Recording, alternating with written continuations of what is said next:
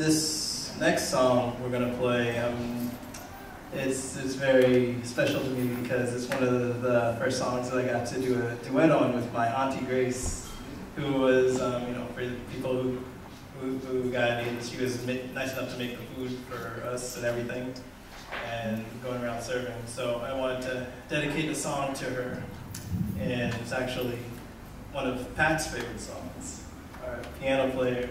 So we did something a little bit different with it. You know, we just got accidentally, accidentally. But luckily you got it on tape, so we're gonna do a little bit of that for you right now, right here. It says Night and Day uh, by Cole